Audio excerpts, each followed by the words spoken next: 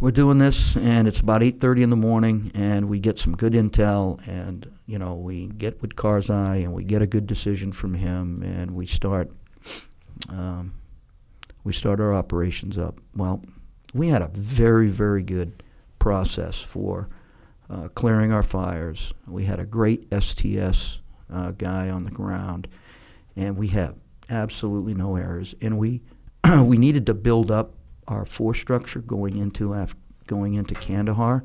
So we took this point, we took this point in time to bring in some additional uh, augmentees, right? And it was about 24 hours before this had happened. So what we did was we um, we did a good transition with everybody. We had a TAC P come in, and he did good transition with the STS and learned all the SOPs and everything like that. And our STS guy and the TAC P had uh, changed over. So just so everyone knows, these these are the guys that call for fire from the air. That's A- who we're absolutely. talking about. And The TACP and the STS, these are individuals that are trained. That's what they do. Mm-hmm. It's, I mean, obviously it's a really hard job. One mistake can be deadly, and that's what they're focused on. And it's great to have those guys because that's what they do for a living. right, And so you had a transition taking place where you're going from one guy that had been with you. Now your your force is growing. You got some extra guys that are going to be able to help out, but they're just showing up.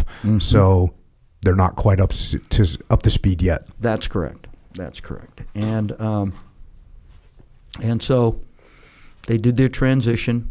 We had got mail in for the first time, so guys were, you know, guys that weren't directly involved in doing anything were opening up their mail, and you know, um, I had done a walk around our our uh, defensive area, which was an old Soviet um, uh, mortar pit, right up on the high ground, and I'd walked around and I had gone down the hill, just got to the bottom of the hill, um, and this big explosion, right out of nowhere, and um,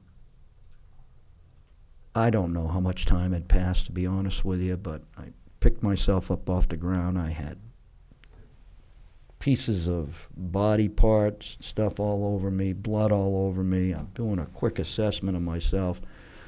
I got a real bad injury with my leg, um, and um, uh, you know, dazed, looking around, and it is utter mayhem.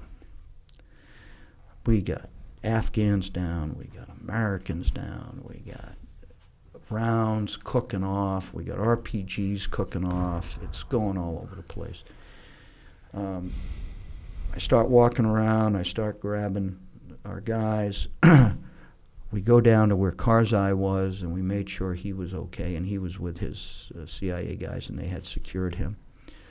Um, and the guys that were with him, securing him, I asked them if they would go out and recon a safe place to bring in helicopters because I knew we were going to have to a CASEVAC here. Um, and out 200 meters, we had casualties. Right, um, it was it was a mess. All 20 of the U.S. guys on the ground were injured some way or another, some more than others, um, and we had. Um, I designated a uh, casualty control point, and I got with my comms guys, and we had to find some. Uh, we had to kind of like um, take comms equipment from, you know, cannibalize it from other stuff to make to reestablish com- communications with higher headquarters. I found Colonel Fox, and he was he was dazed and confused, uh, just to the point where he was just not coherent about what was going on. So, made sure that he was taken care of, um, and went up on the hill and we started pulling bodies off, right, with all these rounds cooking off and everything like getting getting guys off the top of the hill, getting them down. And we knew we had uh, to get um, complete accountability of everybody. And we did that, and I was missing one, right? Uh, and went back up on the hill to where his position was, and that was ground zero of the impact of the 2,000 pound bomb from a B 52 up 35,000 feet. And I searched everywhere, and I found his hat. And I took his hat and I started picking up bits and pieces. And I put it inside the hat, and I put the hat inside a bag, and I marked it. Um, and that's how he was identified. But there was nothing to send home. Absolutely nothing to send home. And another one of our guys that was killed was completely torn in half. I found him under a vehicle. His chest was still heaving. His legs were over here. His chest, his body was separated from it. Um, and I start doing CPR on him. And someone finally grabs me on the shoulder and goes, Sir, no, that's not going to work. He's torn in half.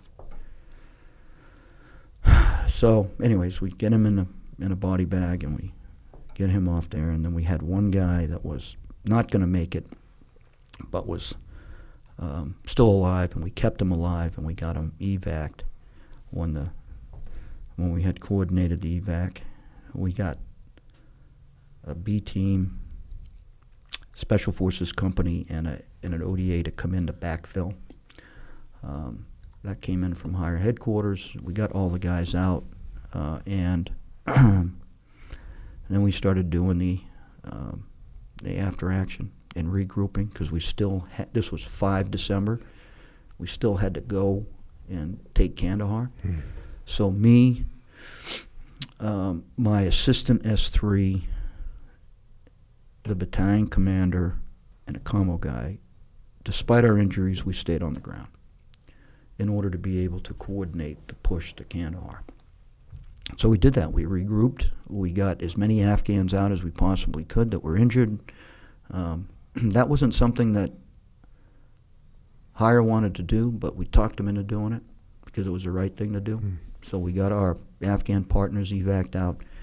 Uh, we helped with the casualties for them as well in the village, and everybody came out and, and, and helped from the different areas around the village. Um, and um, we just said, "Screw it, we're gonna we're gonna hit that um, we're gonna hit that bridge, we're gonna hit that uh, pass, and we're gonna knock them out of there." And we went through, nobody was there. right. This was 8 December, and we went right into Kandahar, and we took Kandahar. And the after action on that, though, and I blame myself to this day, the transition between the STS and the TAC-P was really good, but the TAC-P had to change batteries, and and those old SOFLAMs that we used to target designate, when you do that, the grid resets to your position. So before you send anything or confirm anything with the aircraft, you've got to make sure that, that you have your grid system squared away. And that was the mistake that was made. And as I go over this in my mind over and over and over again, even to this day, I think to myself, I should have been there to make sure that that I should have got an in-person briefing from the TAC-P that he knew all those procedures. I should have got that, and I didn't get that. And because I didn't get it, because of we were in combat, and because of all the things that you talked about earlier, um, you know, a mistake was made. And I, I was in charge of those operations on behalf of Colonel Fox. That was my job, and I didn't do my job, in my opinion, to the best of my ability. And we had that event occur, uh, and you know, well, I learned a big lesson, uh, and I'm sure a lot of people learned a big lesson. But at the end of the day, um, it um, you know there's a, and I think you talk about it, you know, in your in your book there, Extreme Ownership, the fog of war, Mm. right? And Clausewitz and his explanation of the fog of war, and I mean it's all there, right? And You do what you can do.